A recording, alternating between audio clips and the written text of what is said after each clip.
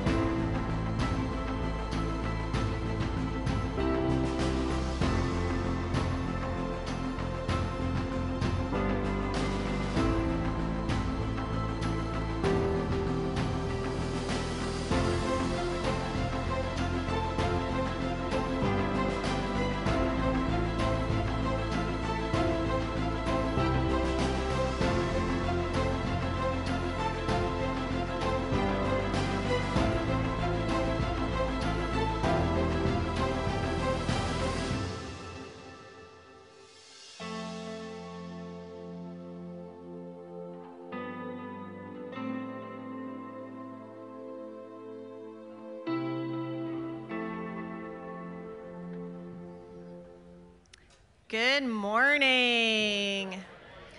Welcome, welcome, welcome. Welcome to the Mission Church this morning. I would like to extend a special welcome to anyone who is visiting us for the first or second or maybe third time. Maybe we haven't met you yet. We're glad you're here. And also a special welcome to friends and family that might be here for our parent and child dedications. Welcome. We're glad that you're here. My name is Tracy Grease and I am the children's director here at the Mission Church. And I have the privilege of welcoming you and being in here for a little bit this morning as we do have a special service where we will be celebrating with three families who will be coming up and promising in front of everyone to raise their children according to God's word. And so we're excited for that this morning. If you are a visitor or a guest checking out the Mission Church and would like to know a little bit more, we would love to invite you to a guest reception right through those doors over there as soon as the service is over. You can go and, and have a chat with some of our folks, meet our pastors, and ask anything you ever wanted to know about the Mission Church. We'd love to have you and love to meet you and get to know who you are. Would you please stand with me for the reading of God's Word? Ephesians 2 8 and 10, 8 through 10. For by grace you have been saved by faith, and this not of your own doing. It is the gift of God, not a result of works, so that no one may boast. For we are his workmanship, created in Christ Jesus for good works, which God prepared beforehand that we should walk in them. Would you remain standing with me? As we pray. Heavenly Father, Lord, we do thank you for that grace. We thank you this morning, Father, for everyone that is here today, everyone that made a place in their schedule this weekend to be here, to hear about you, to sing about you, to learn about you, to be taught about you. Father, this morning, as we continue in some interesting and difficult, maybe, maybe surprising, maybe new conversations, Father, we do pray this morning for open hearts and open minds. as your word rests on us. Father, I thank you for the preparation that Pastor Mike has gone into to present to us some truths from your word. Father, we thank you this morning also for the families that will be dedicating their children before you and before our people here today. Father, we love you and we thank you for who you are. In Jesus' name, amen. Please stay standing as we enter this time of worship together, singing songs to worship our God. Let's do it.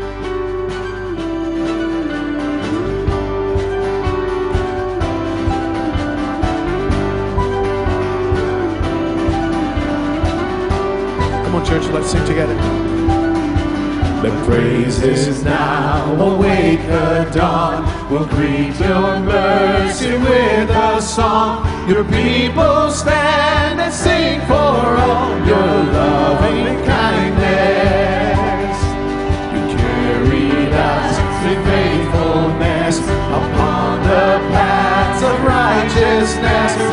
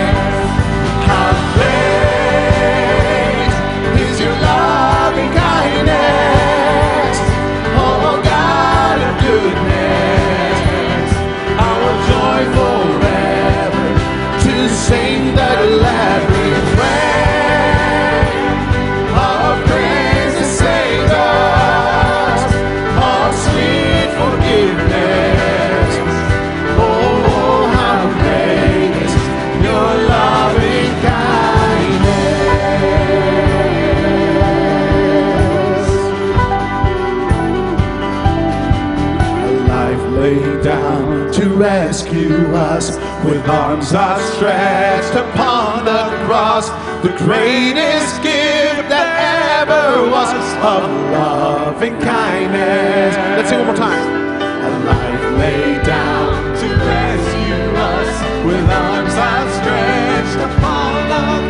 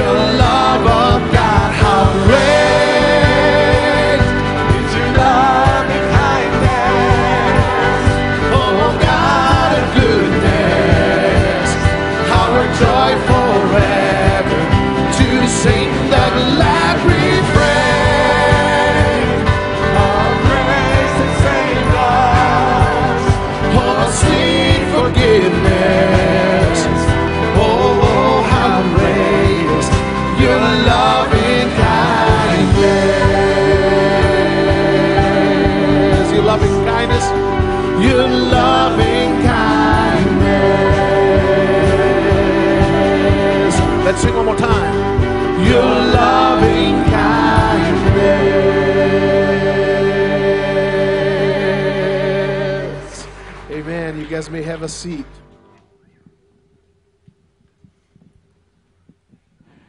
Well, good morning, everybody. Good to see all of you here. My name is Mike Rose. I'm the senior pastor at the Mission Church. Want to welcome you. Want to welcome those of you who are connecting with us online today as well. Today, we are privileged to be able to uh, help three families dedicate themselves and their children to the Lord. And this is really an important um, act that they are doing today. Uh, this is not a confirmation. It's not a sign that their children are born again and followers of Jesus. But what it is, is these parents are recognizing and confessing before this crowd that they recognize their children are a gift to them from God and that they have a sacred responsibility. And that is to raise their children in the ways of Christ, to teach them the gospel, to live out the gospel before them, and to share it with them regularly in the hopes that as they share and as they pray and as they model, that their children at the earliest possible age will come to faith in the Lord Jesus Christ.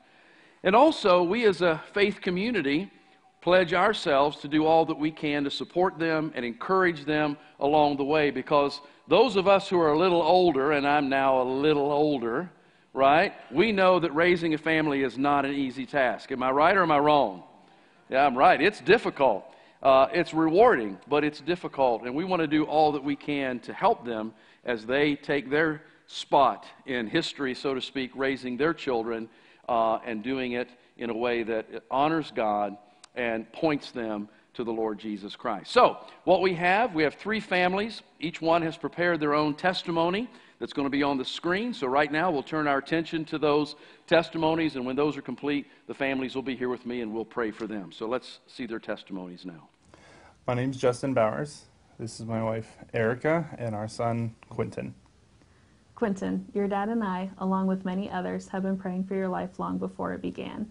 Your life is a true answer to many prayers and is a constant reminder of God's faithfulness and overflowing, undeserving love. You are such a blessing to us, and we are so honored that God has put you in our family and let us be your parents. However, we know that parenthood is hard, and we can't do it alone. You have amazing people around you, including your family, friends, and church family. These are people who will love you and will hold your dad and I accountable in raising you in a way that reflects the gospel and points you to Jesus. Today, we are dedicating Quentin Charles as a public display of our faith. We are committing to raising Quinn in a household that loves and serves the Lord and pray that one day he will develop a personal relationship with Jesus himself and will know Jesus as his Savior. We are asking our families here today and the church body to help us. We ask that they hold us accountable as we walk through this new chapter as parents. Church, first and foremost, we ask for your prayers. We ask that you pray for Erica and I's marriage to be a reflection of the gospel for Quinn and others, that we will continue to love and serve each other well. We also ask that you pray for Quentin, that he will one day accept Jesus as his Lord and Savior. We ask that you pray for our family as a whole as we navigate day to day life with the newest member of our family, and we also ask for your love, support, and accountability as we parent Quinn. Hey, church. I'm Eric, and this is my wife, Paige Hamer, and this is our daughter, Louisa Kay. We're here today to uh, dedicate her before you. We know that Louisa is a gift from God, and we want to um, just cherish that gift and to um, use it wisely. So we want to um, we want to say that we're going to raise her in a godly church, and we just want to come before you to say that. We know that dedicating her uh, doesn't assure her salvation, but instead it's just our commitment to raising her in a uh, in a godly church and a godly family. We we want to uh, pray without ceasing over her salvation and her sanctification, and we know as we raise her, our goal is not behavior modification, this actually heart transformation. So we're not looking for her just to be well behaved, but we want her to uh, just recognize uh, her need for a Savior. As we pray for her, I can't help but think about uh, Psalm 127, and that's the uh, that's the chapter that compares uh, children to arrows in a man's quiver, and it says, "Blessed is a man whose quiver is full of them." Uh, and the point of arrows is not to keep them in the quiver, but to actually fire them so that they go out into the world. So as we raise Louisa, we want to send her out into the world uh, fully prepared. Um, we want to uh, we don't want to hold on to her, but uh, as a gift from God, we want to send her out, and we want her true target to be Jesus Christ. So uh, please join us in praying for Louisa. Uh, pray that God reveals her sin to her, that she will um, come to faith in Him and want to be baptized and commit to following Jesus for her life. Um, Louisa's name means renowned warrior, and pray with us that she'll live up to that name from the kingdom of God. And uh, just pray that her life will be marked by uh, equal amounts of truth and also love and grace. So we thank God for the blessing of a daughter, and we thank you all for your help in raising her. We love you, Louisa. Hi, I'm Jared Lung, and this is my wife Brittany, our son Sterling, our daughter Savannah, and today we're dedicating um, our new daughter Scarlett. We moved to Iowa from California last year because we wanted a safer place for our children to grow up. A passage of the Bible that means a lot to us and that helped led to this move is John 15, 5 through 8. And it says, I am the vine, you are the branches. If you remain in me and I in you, you will bear much fruit. Apart from me, you can do nothing. If you do not remain in me, you are like a branch that is thrown away and withers. Such branches are picked up, thrown into the fire, and burned. If you remain in me and my words remain in you, ask whatever you wish, and it will be done for you.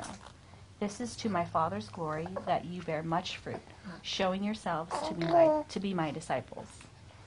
And this verse reminds us that um, just as a branch needs to be connected to the main plant in order to live, uh, we need to remain constantly connected uh, to Christ. When we moved here, we made a list of a few churches that we wanted to try out, and the Lord led us to try out the mission first. Um, we felt instantly connected and welcomed by the pastoral staff and members of the church. And when our children, who had previously been scared to go off on their own, told us how much fun they had in the children's church, we knew we had found our church home, and we haven't gone anywhere else since. We're dedicating Scarlett today because being rooted in prayer and in the Bible and Bible reading are necessary components of life, and we know that this church family will continue to help us give our children the fuel that they need to grow and follow the Lord. Amen. So, uh, families, if you would make your way on up here. What a testimony that each one of them gave. And I want to say it certainly sounds like these children have been entrusted to some good parents, wouldn't you say? Their intentions are certainly honorable. And I have no, uh, no doubt that they'll actually move in the direction of those intentions and that they will seek to do exactly the things that they have said. So we want to take a moment now to pray for them. Hi, honey, how are you? She's just staring at me like, oh, wow.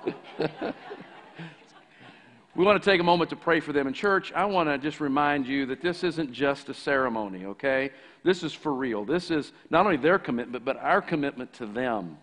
And, you know, as our brother said here, found a home here, people making them feel welcome. And that's wonderful. But we want to also do what we can to be supportive in, in, as they raise their kids. And so, uh, would you stand with me and join me in prayer as we pray for these families? So, Father, we ask you now that to look down upon these families and these children. I know that you are here and that you are witnessing all of this. And, Father, I just pray that as these parents come before this congregation and stand before you, that this will be um, a, a time that they will remember when raising of their children is challenging and difficult. And perhaps even you may wonder as a parent, why did we do this? Nonetheless, there's so many wonderful opportunities and wonderful memories to be built. And I just pray, Lord, that you will sustain them by your grace through all of the various ages and stages of life. And Lord, that you would empower both the men and the women to fulfill the roles that you have given them as husband and wife, as father and mother. I think of Justin and Erica. And I pray, Father, that you would just strengthen them to raise Quentin in the ways of Christ, and that Quentin will come to know Jesus and will grow up to be a mighty man of the faith. I pray for Eric and Paige and their daughter Louisa. Lord, I pray the same, that you would protect their marriage, encourage them as parents, and that Louisa would come to know Jesus as her Savior, and that she would grow up to be a mighty woman of the faith, and Lord, one who points others to you. And we pray for Jared and Brittany and their daughter Scarlett. And we pray, Lord, that you would encourage them, strengthen them, provide for them, protect them, and enable them, Lord, to raise Scarlett in such a way as that she comes to know Christ as her Savior and Lord and becomes a mighty woman of the faith as well. And so, Lord, as this young one is crying out, we cry out to you and we ask for your blessing upon them, upon this church, as we seek to honor you by helping people become fully functioning followers of Jesus Christ. I offer this prayer in Jesus' name. Amen. Let's give these families a round of applause.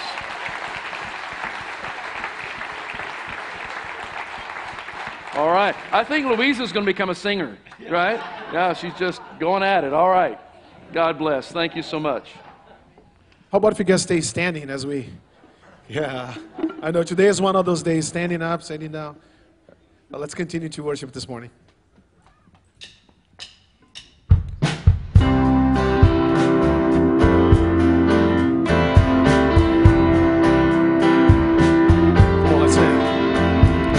Wonderful grace of Jesus, greater than all my sin. How shall my tongue describe it? Shall its praise begin? Taking away my burden, setting my spirit free for the wonderful grace of Jesus reaches me. Come on, split up. Wonderful and matchless grace of Jesus,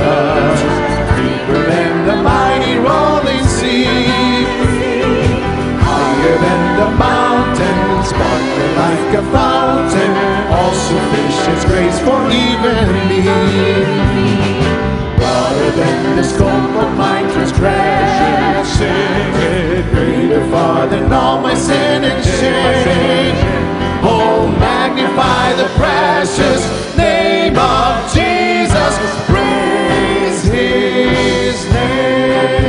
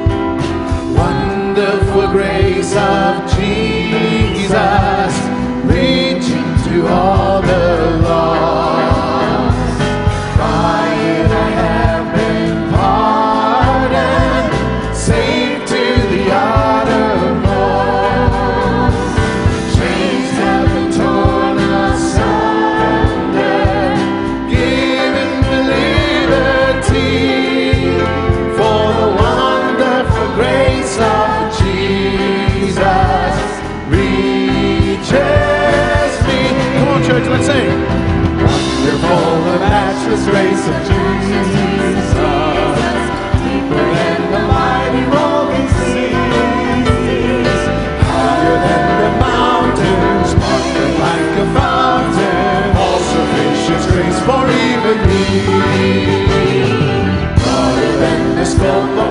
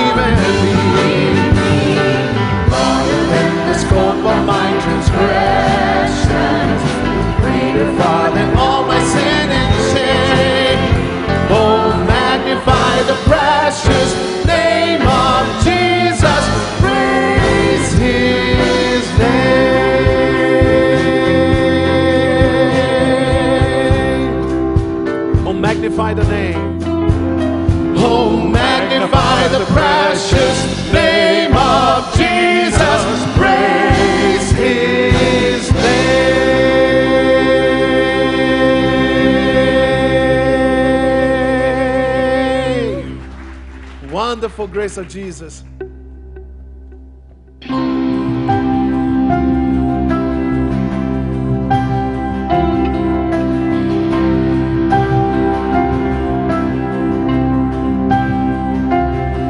Sometimes I'm strong, sometimes I'm weak, sometimes I fall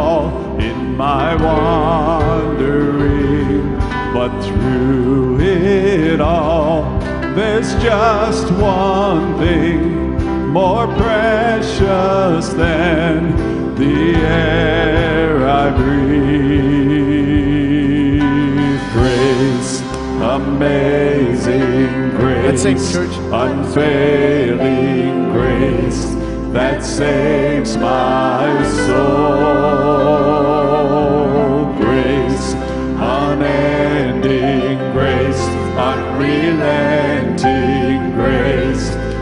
Won't let go.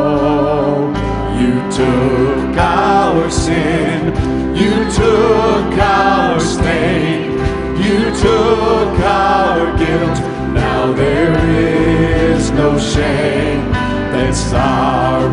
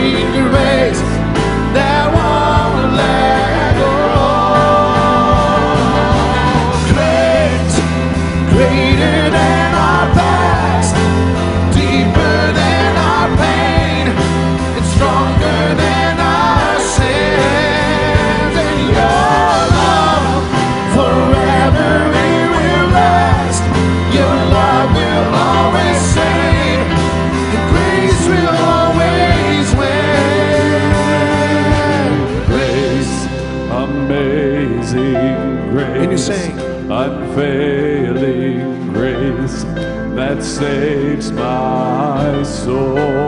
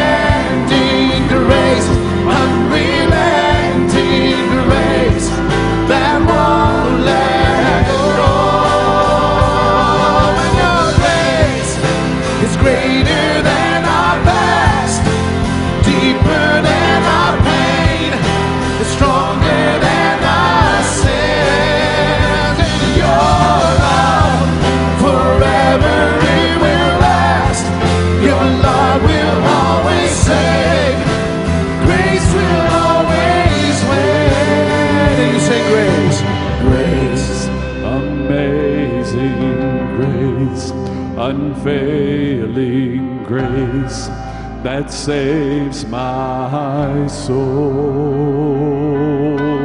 Grace, unending grace, unrelenting grace that won't let go. Amen, church. If you are grateful for His grace, how about if you put your hands together and worship Him this? Amen. We are grateful for His grace. How about if you stand? I have a seat. I'm sorry.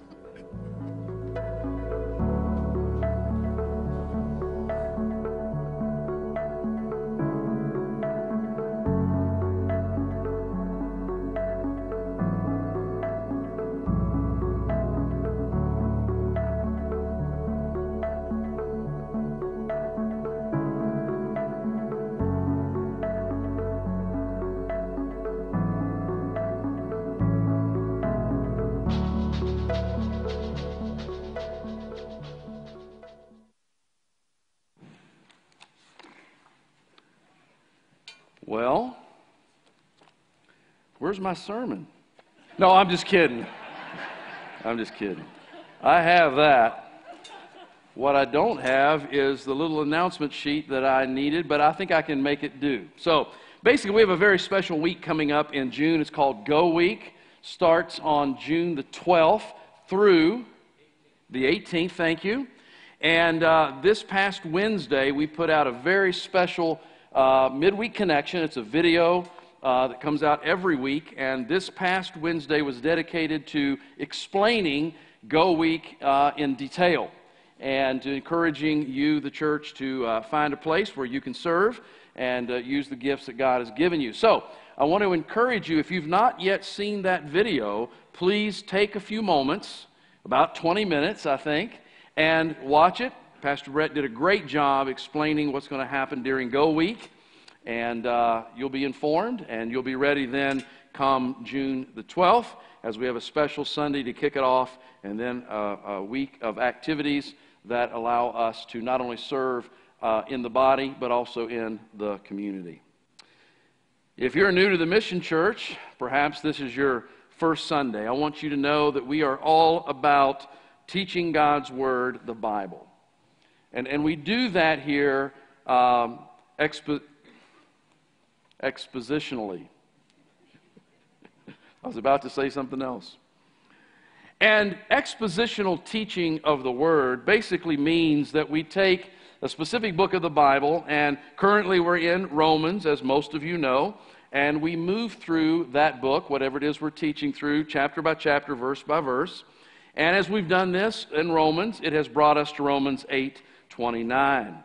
And uh, having arrived there, uh, in the verses that surround 829, we uh, found four words in the text that uh, form or from which the two primary frameworks concerning the doctrine of salvation have come.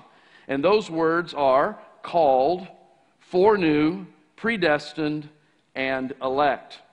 The two primary doctrinal frameworks that come from all of this are called Calvinism and Arminianism. And I took time last Sunday to go through the points of those, to define them, to help you understand what they uh, uh, speak uh, to the issue of salvation. And then we took time to actually just look at the scripture and let certain scriptures just speak for themselves as we uh, looked at so, what does the Bible have to say about those topics? And if you'd like to see that sermon, if you haven't had a chance to do that, or you're brand new to the church and you'd like to know what we had to say about that, our website is themissiondsm.org. Very simple, themissiondsm.org. Go to the sermons tab and you can find last week's sermon there. Today's focus falls to a question that eventually gets asked when we talk to people about the word predestination, specific from a biblical salvation context. I want us to define the word. We'll take a look at just a couple of scriptures that speak to the word, and then we'll turn our attention to deal with the question that I'll introduce here in just a few moments. So, the word predestined, what does it mean? It simply means to determine in advance. That's what the word predestined means, to determine in advance. It also, we could say it this way, it means to settle an issue before the issue arises. So that's basically what the word predestined means. A couple of scriptures. The first one, Romans 8:29, says this: "For those whom he foreknew, he also predestined to be conformed to the image of his Son. Ephesians chapter 1, verses 3 through 5a say, Blessed be the God and Father of our Lord Jesus Christ, who has blessed us in Christ with every spiritual blessing in the heavenly places, even as he chose us in him before the foundation of the world, that we should be holy and blameless before him. In love, he predestined us for adoption to himself as sons through Jesus Christ.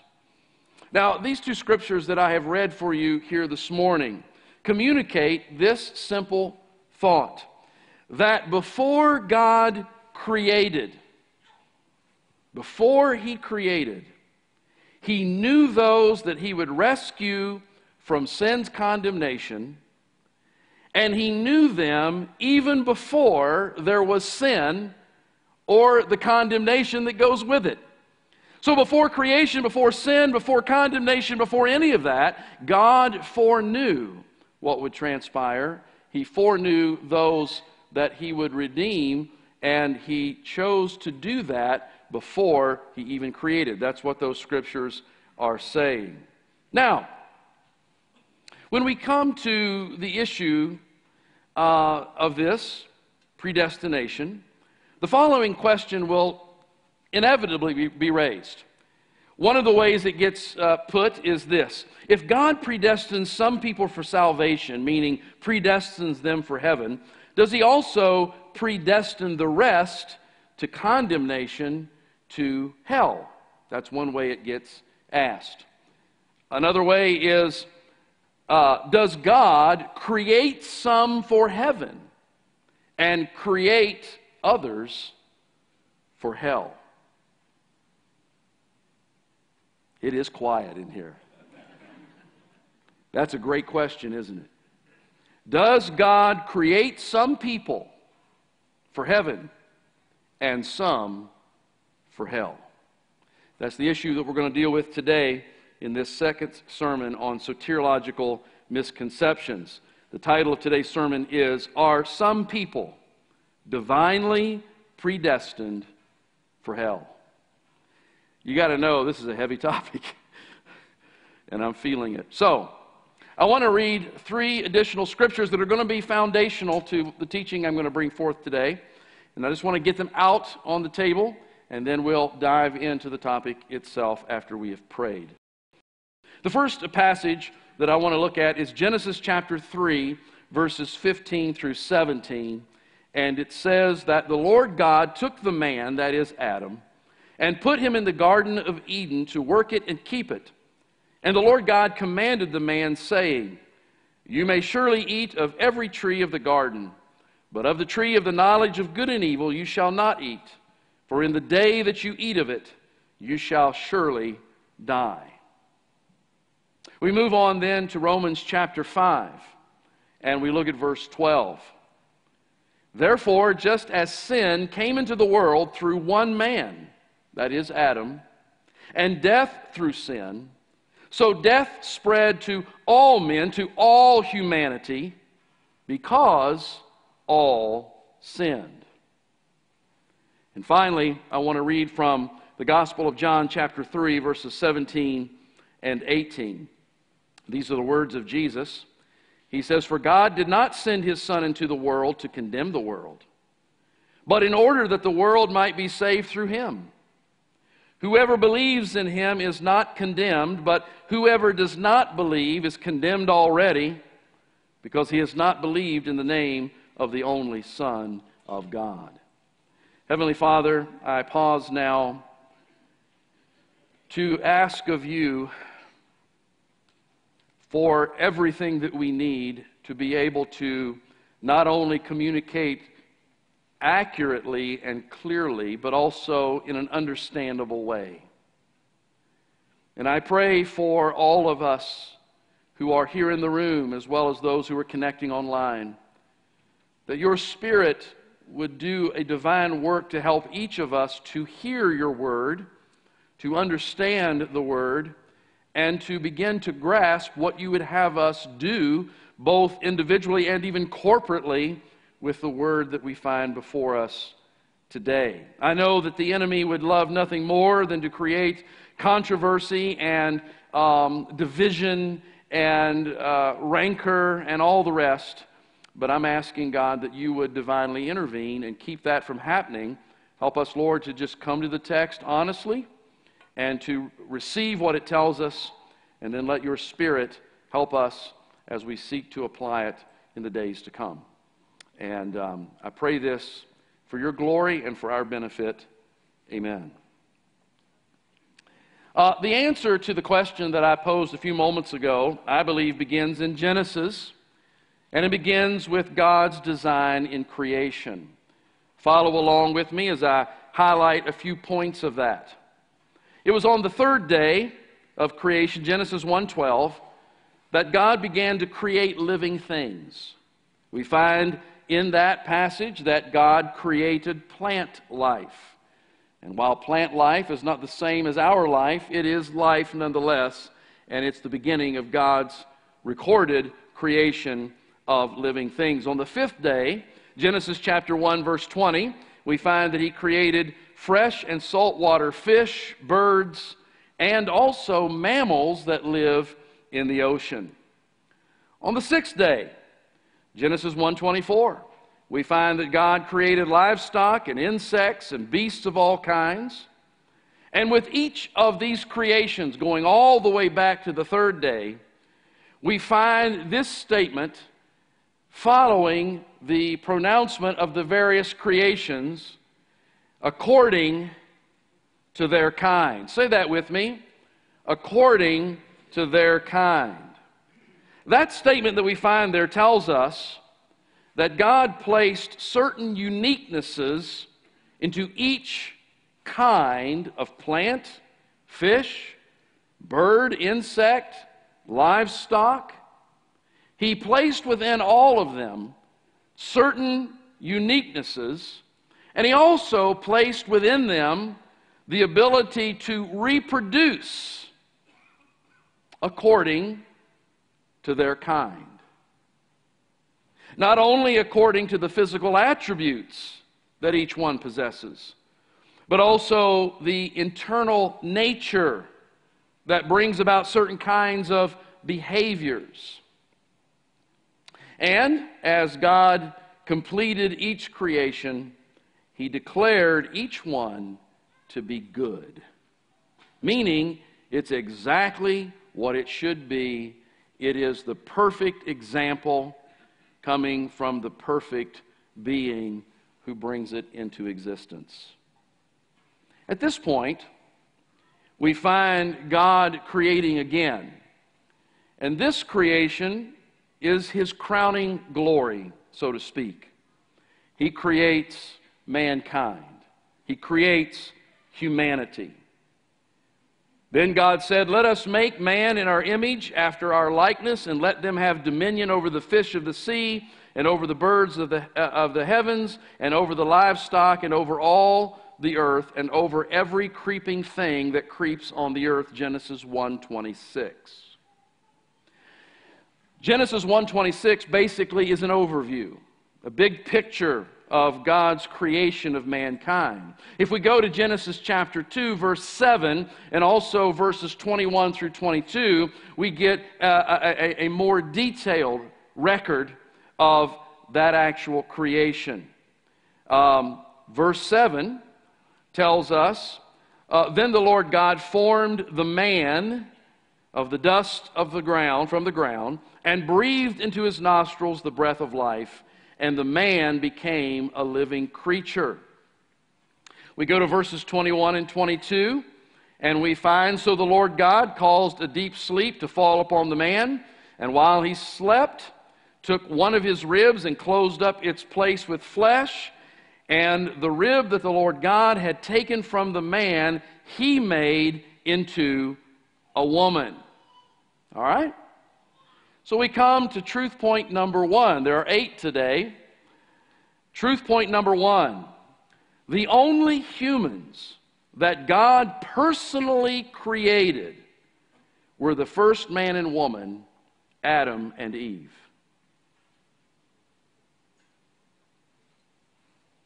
I pause for a moment because I do wonder have we ever thought about that? Has that reality ever actually crossed our mind?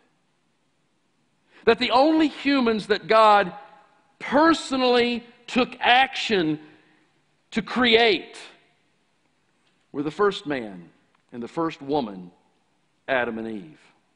The record tells us that God created Adam's body from the dust of the ground, and having created that body, he breathed into it the breath of life and Adam became a living soul.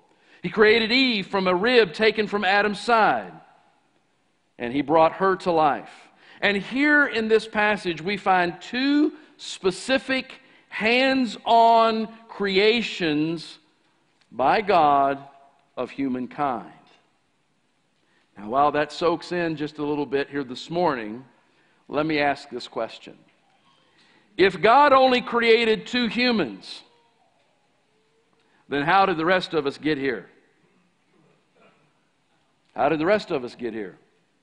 And the answer to that is found in Genesis chapter 1, verses 27 and 28, and I will also eventually read verse 31. Verse 27 says So God created man in his own image. In the image of God, he created him. Male and female, he created them. And God blessed them. And God said to them, Be fruitful and multiply and fill the earth and subdue it. Truth point number two. By God's design and power, He placed within the body of the first man and woman the ability to procreate. The ability to procreate is the ability to bring new human life into the world according to their kind. I don't know if it's dawned on us, but God is not in heaven creating new humans and then sending them into the world through the body of a woman. That's not the way it works. The way it works is God created a man and He created a woman and He infused creative power within the male and female body. And we know that as those bodies come together, contributing their part for procreation, new humans are conceived and born into this world. We had the perfect example of it right up here on the stage this morning, did we not?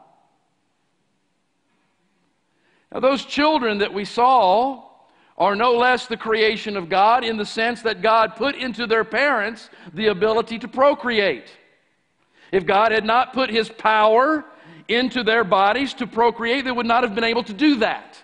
But God was not in heaven making those little babies and sending them through their mothers, and here they are today. He created one man, He created one woman, and He gave them the power to procreate, and of course, that gets handed down.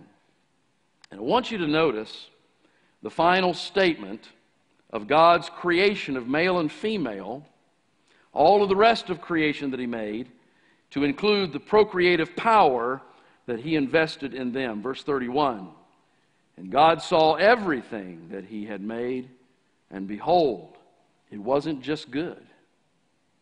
It was what? It was very good. Very good. So we find by God's design and power that Adam and Eve were created perfect. Spirit, soul, body, they were able to relate to the creation around them. They were able to relate to one another. And they were able to relate to God. Truth point number three God's creation of mankind had only one intention eternal life and communion with Himself for His glory and creation's benefit. Somebody says, We had two lines there. It sounds like two intentions. Well, one intent can be explained in two or three sentences, right? So this is one intent that ex- comes down and is explained to us in this way. God's one intention in creating man and woman, humanity, was that they have eternal life and that they have communion with Him for His glory and for creation's benefit. I sum all this up by saying that God directly created two people, and only two people. And in their creation, we find no hint of any ulterior motive. Meaning, other than the motive that I've just given you. They were created to know God, they were created to love God, they were created to enjoy Him forever. What a glorious beginning. Wouldn't you have liked to have been there? Wouldn't you liked to have been there? Some of you say, no. Okay, that's okay. I think it would have been awesome to be there. Of course, that would create other problems, right? Because my time was way down the line. What a glorious beginning, though. Created to know God, created to love God, created to enjoy Him forever. So, what happened? What happened? And who's at fault? What is the consequence? That's where we're going now.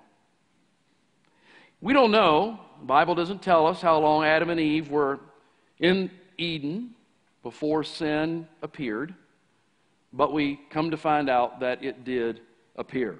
Genesis chapter 3, verses 1 through 6 tells us that the serpent deceived the woman and she ate the forbidden fruit. Adam was not deceived, but he took the fruit that his wife offered him and he ate it also. And verse 7 tells us what happened. Then the eyes of them both were opened, and they knew that they were naked, and they sewed fig leaves together and made themselves loincloths. This is where sin enters the world. Not in their nakedness, they had already been that way.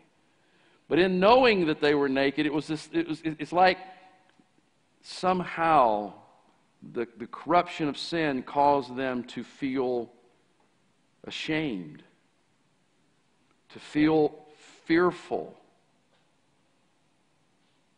to feel vulnerable, guilty. And the sewing of the leaves really is just their attempt to cover it up, to find a way within themselves to fix the dilemma that they now find themselves in. Truth point number four. It was the singular act of disobedience by Adam that plunged not only he and Eve into sin's curse, but also the entire human population. Don't change any slides yet. I want us to look at that again because this is such a key thing for us to understand, and I want you to remember the question. The question that I asked earlier on. It was the singular act of disobedience by Adam that plunged not only he and Eve into sin's curse, but also the entire human population. Romans chapter 5, verse 12. Therefore, just as sin came into the world through one man, and death through sin. And so death spread to all men. Ah, the women, they're, they're left out. No, it's, we know what that means. It's all humanity, right? Spread to all humanity because all sinned. Now, here's another really important truth point. So I want us to really focus strongly on it. Truth point number five Adam's sin caused Adam and Eve's nature to change. No longer innocent, no longer perfect, their spirit died. Meaning that it was cut off from relationship with God. Adam and Eve were created with a certain nature, a nature that could love God, could know God, could enjoy Him forever. When Adam sinned, their nature, that internal, intangible part of life, changed. No longer perfect, no longer innocent no longer able to actually know God as He is, or to love God as they should, or even to enjoy Him forever. They were cut off from the relationship that they had enjoyed with God. God had created them in perfect innocence, but now fundamentally changed. God's declaration of good could no longer be applied. And so it was in this condition that Adam and Eve conceived a child, and that child was born with the same fallen nature that they now possessed. Are you following with me?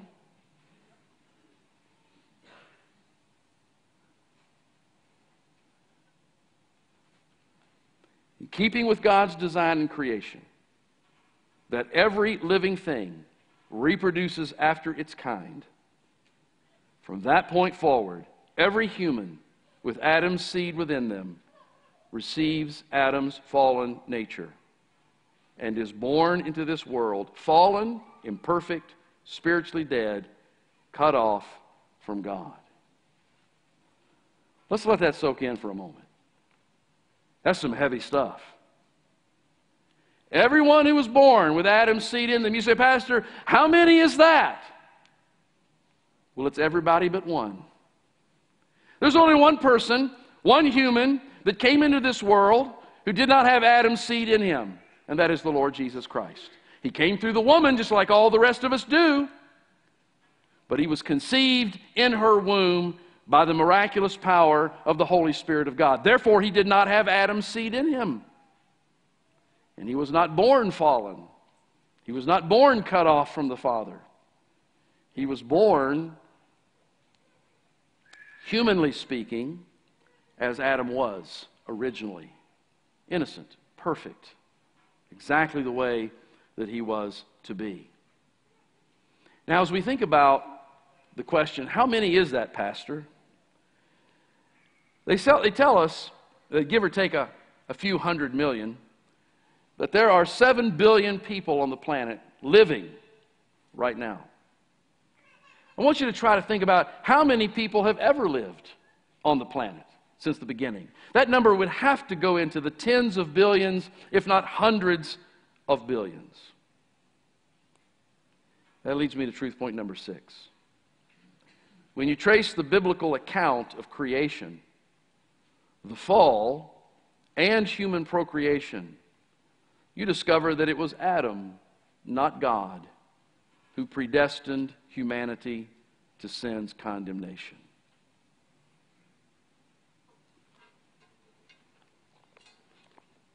You see, Adam's sin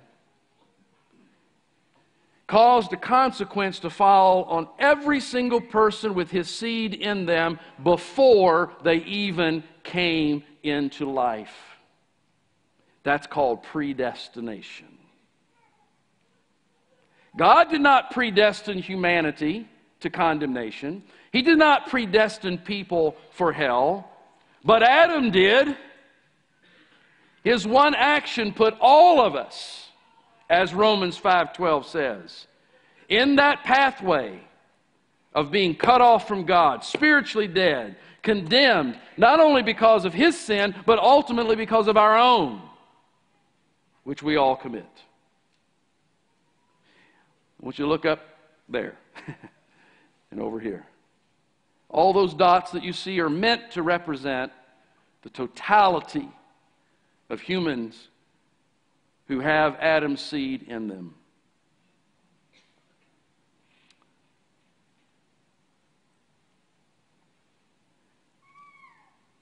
We are all sinners and put into condemnation because of Adam. God's intent was eternal life and communion with man.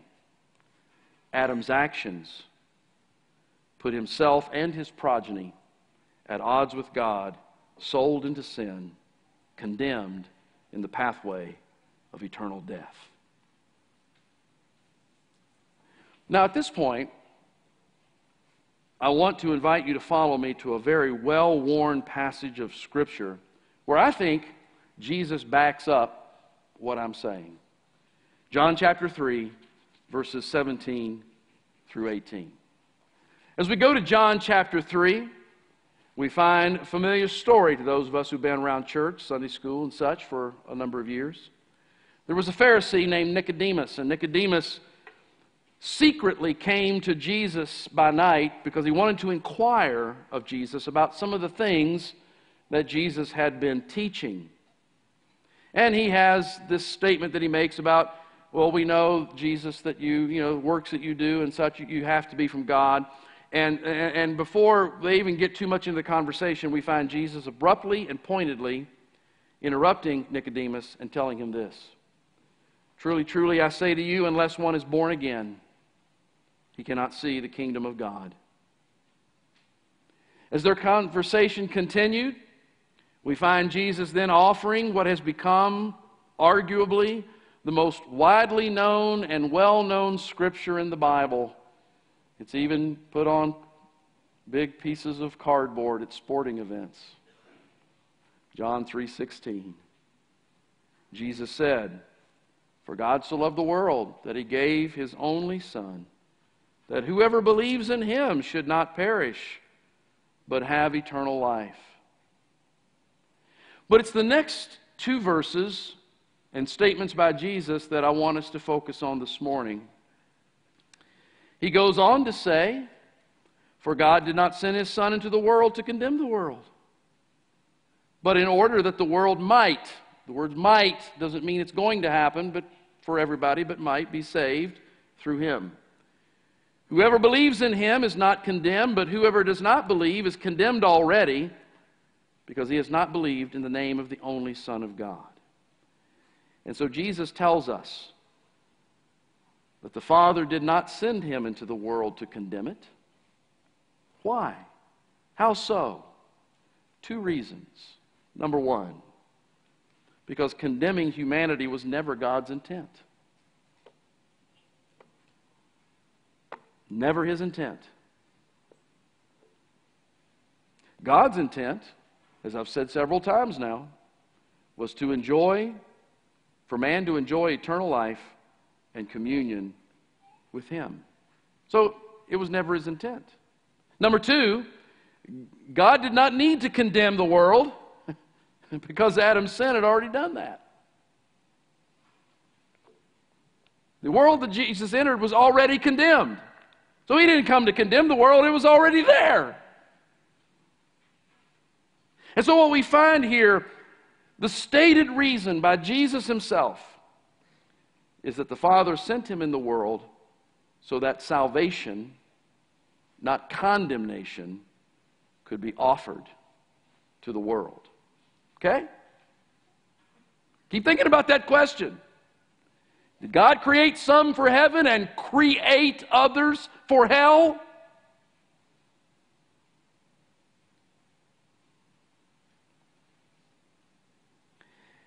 Despite the fact that Jesus confirms that he was sent so that salvation, not condemnation, could be offered to the world, let us not think that God is sweeping man's sin under the rug and ushering everyone into heaven. Because he's not. And we find the clarifying statement in verse 18. And I've added to verse 18, if we want to go ahead and move there, some, the extra red is my words, not the scripture's words, but they're there to help us grab something. Jesus clarifies this by saying, Whoever believes in him, that is in Jesus, is not condemned. Why is it that those who believe in Jesus escape the condemnation they were born under and garnered for themselves because of their own personal sins? Well, it's because the cross and the resurrection deal with our condemnation, right? Jesus bore our sin. He bore your sin. He bore my sin on the cross. He became sin for us that we might be able to become the righteousness of God in Him. And so those who believe in Him well, they're not condemned. The cross and the resurrection deal with that. But he goes on to say that whoever does not believe is condemned already. It's not that they're going to be condemned for not believing somewhere down the road. They're condemned already. And their condemnation is secured because they have not believed in the name of the only Son of God. To say that they're condemned already is to say this that we are born into a stream of sin. We are born into a stream of condemnation. Those who do not come to that place in life where they turn in repentance and faith to the Lord Jesus Christ, they don't get condemned down the road. They just continue on in the condemnation they came into the world with. In other words, God just lets them go where they naturally want to go. You say, Pastor, no one wants to go to hell. And I believe that. That's probably true. There's a few rock songs that tell us otherwise, but those were probably just for the profit's sake. Fun to sing in an arena, right? But nobody wants to go to hell. But the point is, man within himself does not want to surrender to the authority and sovereignty of God.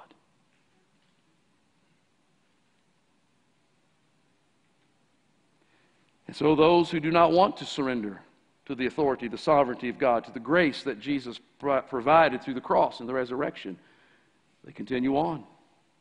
They continue on to an ultimate end. Truth point number seven. God's intention is clearly seen in his creation of Adam and Eve in a state of perfect innocence. Despite Adam's sin, plunging humanity into condemnation, God's intention continues in the coming of Jesus to provide a means of redemption for sinners. What am I trying to do here, church? I'm trying to answer the question Did God, does God choose in advance to send people to hell? Did he create people for hell? I'm not finding that in the scripture. He had a different intent. Will people go to hell? Yes, they will.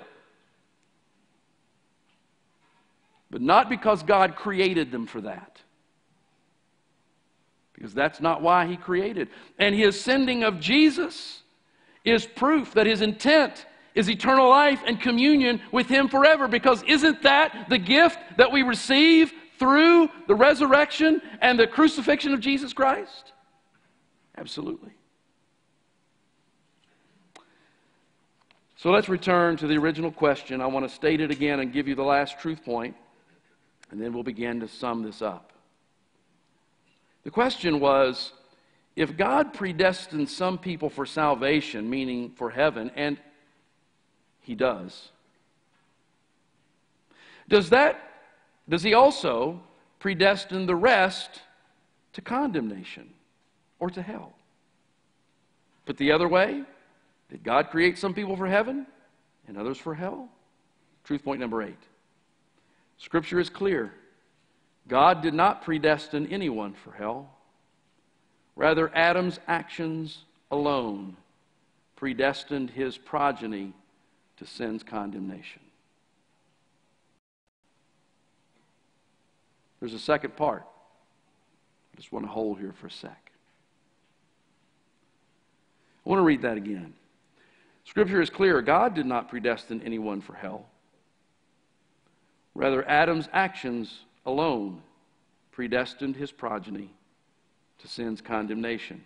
Part two. God, however, foreknowing the fall of mankind into sin's condemnation, determined before creation, I wish I'd put these next words in bold, to save some out of sin's condemnation for his glory and for their benefit Ephesians 1 3 through 6. God, however, foreknowing the fall of mankind into sin's condemnation, determined before creation to save some. That right there demonstrates God's mercy, His love, His kindness, and His grace. Even so, despite the fact that that shows his mercy, His love, His kindness, and His grace. Despite that, I can already sense and feel and somewhat hear the protest rising from some,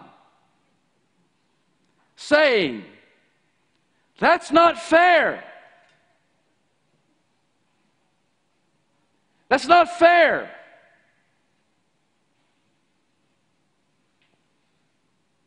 It's not fair that God would choose to save some and leave the rest in their condemnation. Not, not that He created them for that, but leaving them where they are. That's not fair.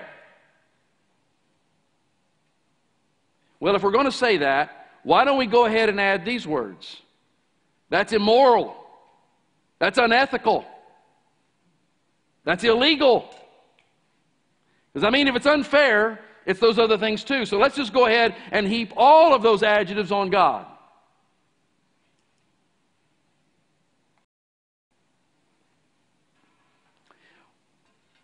What I'm about to tell you is not easy to hear. And some may even be offended. I hope not, because that's not my intention. It's not my intention to empty this room out so that me and Brett and his kids are the only ones that show up next week for church. that is funny. A little levity before we get to the, the hard stuff. But listen to me carefully, church. We must come to grips with the fact that through our association with Adam as the federal head of the human race, and we must come to grips with the fact that from our own personal sins against God, divine condemnation is what we deserve. And that condemnation is just, and it is righteous, and it is moral and it is ethical. It is even legal. We got to deal with that.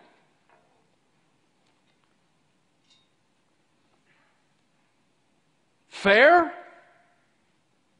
We want to throw the word fair around? Let's talk about fairness or lack thereof. I'll tell you what's unfair. Jesus lowering himself from heaven to take on human flesh, his own creation, to clothe himself in his own creation, to then live in that body in absolute perfection in relation to God's law, but then by all others around him to be lied about and to be tortured and to be hung on a cross like a heinous criminal. Taking the sins of humanity upon himself, bearing the full wrath and fury of God for sin, and then dying for me, dying for you. Fair? That's what's unfair. And yet, that's exactly what he did. He didn't put you on that cross, he didn't put Gabriel on that cross. The Creator put Himself on that cross and bore our transgressions, which demonstrate again His intention. And why did he do it? Love. First of all, love for the Father. Second of all, love for the glory of the Godhead. And third, love for sinners. Romans chapter 5, verse 8. God demonstrated his own love for us and that while we were still sinners, Christ died for us. John 3:16 For God so loved the world that he gave his only begotten son that whoever believes in him should not perish but have everlasting life. 1 John chapter 4 verse 10 In this is love not that we have loved God but that he loved us and sent his son to be the propitiation or the sacrifice for our sins. Mark it down on your note guide. it is a fact that in love, God saves sinners. Here's the million dollar question Will he save every sinner? No, he will not. He determined to allow many sinners to go the way that they want to go. And the way that sinners want to go is in opposition to him. But he nonetheless saves sinners. He determined this before he even created. He knew us, he provided for our redemption, he called us, he justified us, he sanctifies us, and he will glorify us. And listen to me carefully this morning. He woke me up this morning. He allowed me to rise from my bed today to come before you and to come before our live stream camera to tell you about Jesus' death for sin and his resurrection to new life. He rose me up today and put me in these clothes and put me on this platform to invite you to turn from sin, to turn from self to turn in repentance and to by faith embrace Jesus as your Savior and Lord. And I want to make this promise to you.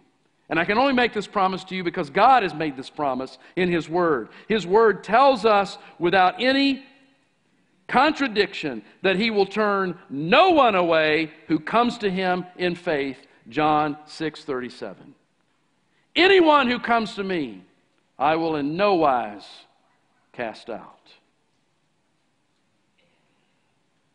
So I say to anyone who's listening if that desire to come to Jesus, if that desire to have sins forgiven, if that desire to be as God created us to be one day, if, if that desire is in your heart, do understand this. It's because God is using the gospel to work on your heart.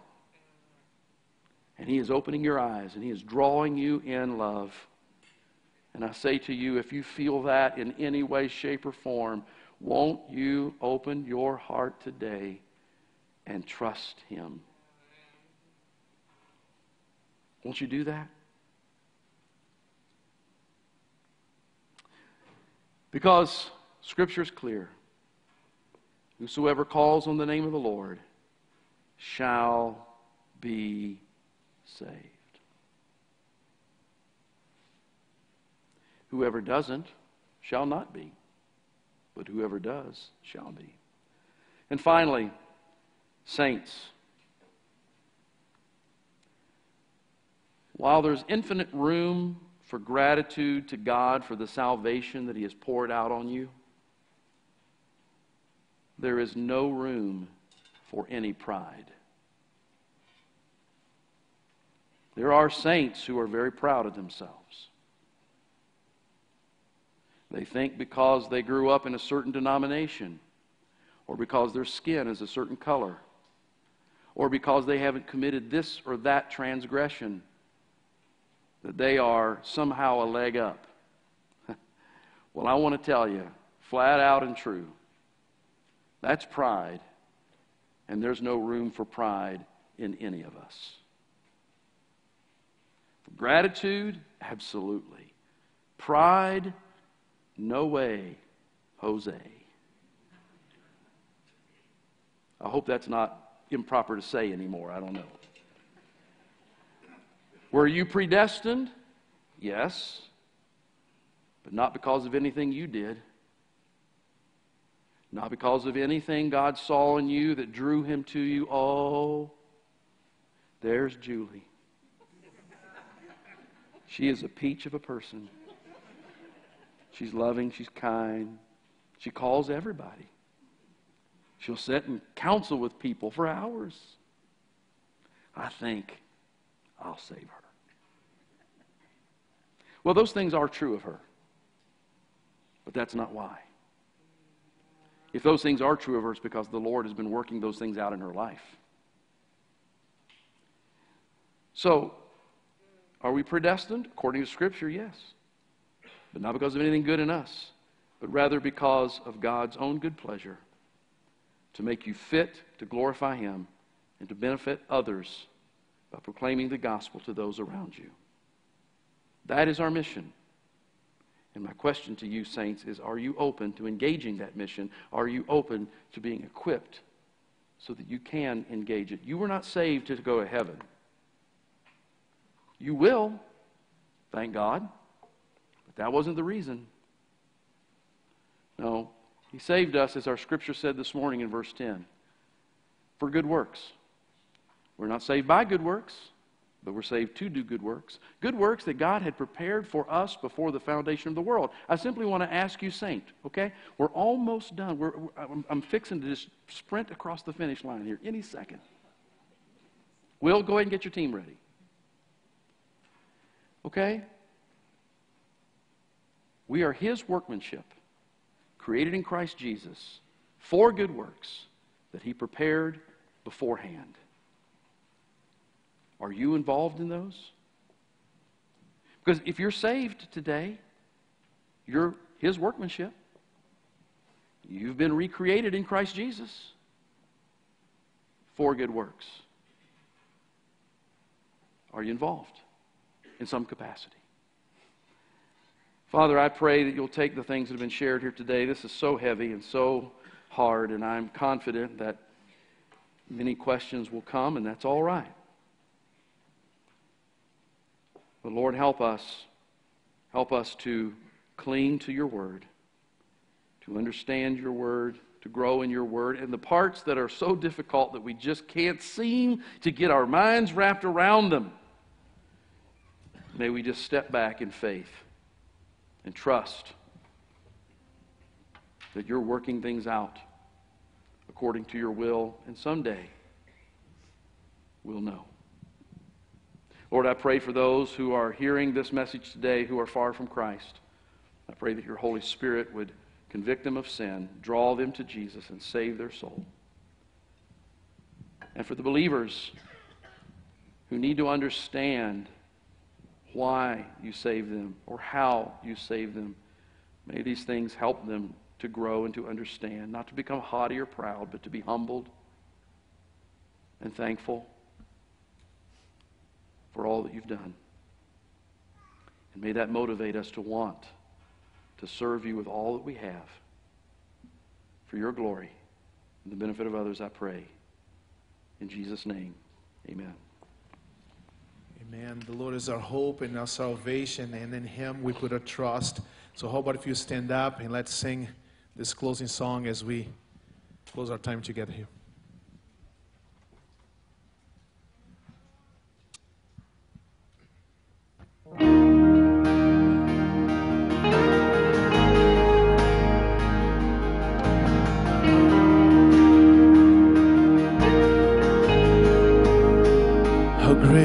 Chasm that lay between us.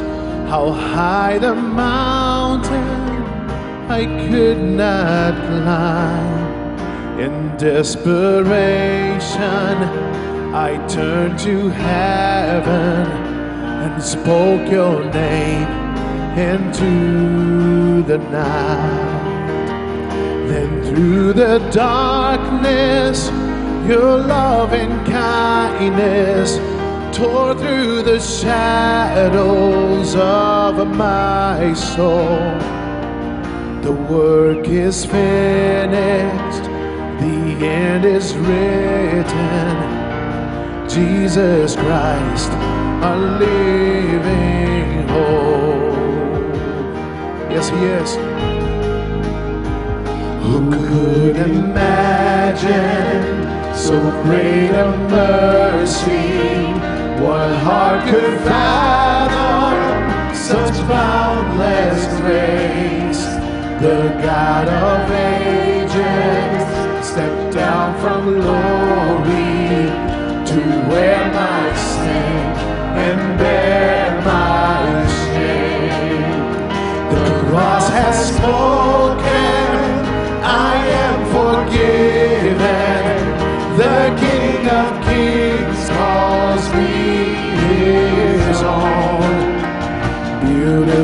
Savior.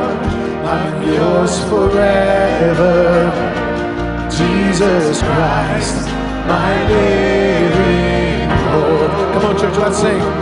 Hallelujah. So praise the one who set me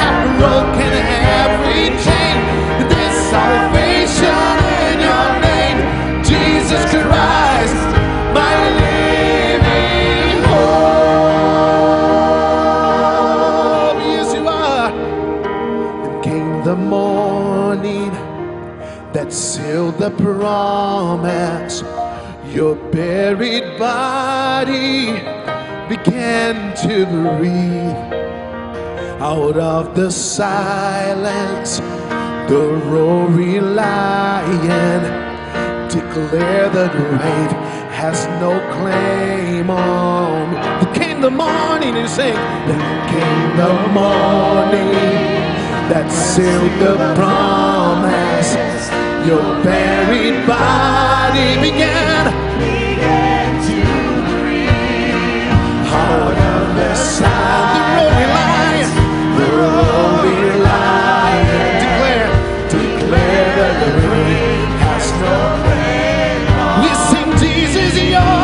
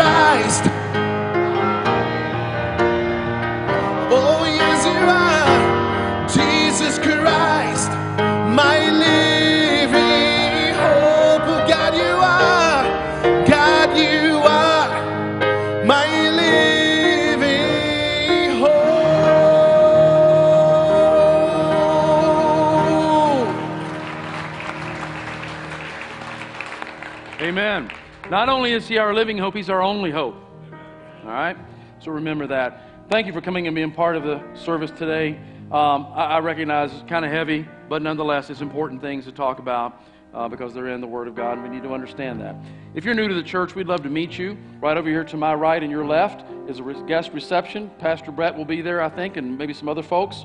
And uh, they'd love to meet you. We have a free gift we'd love to give you, and you can answer ask questions about the church and hopefully receive some answers. I'm going to be right here at the front. My wife is going to be right here. One of our elders will be here. If you need someone to pray with you, if you have questions about what we talked about today, um, whatever, we want to minister to you.